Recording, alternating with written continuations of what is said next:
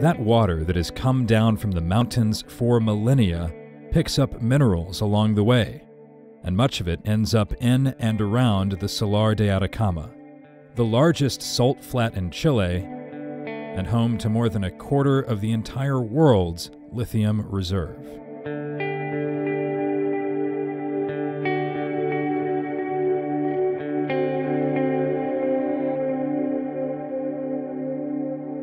It's definitely otherworldly out here. Uh, as you're driving through the desert in northern Chile, you could be on the surface of Mars or the moon just by looking around. And then you get to these very striking man-made evaporation pools. This is where the sourcing of that really valuable mineral, lithium, begins. You know, I had read about this being the point on the Earth that gets the most solar radiation, and, and now I'm feeling it.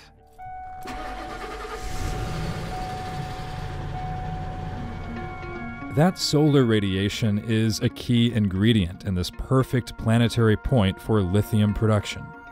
Albemarle and state run SQM operate on the edges of the Salar de Atacama, drilling beneath the crusty alien exterior to pull up superheated briny water filled with valuable chemicals, then putting that brine through a process powered by both nature and industry.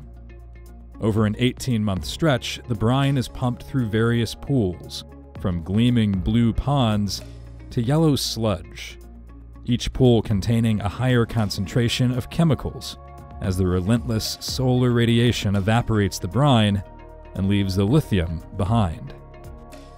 The end product is pumped into trucks to be sent off for refinement and to feed the growing global appetite for the key component of lithium batteries.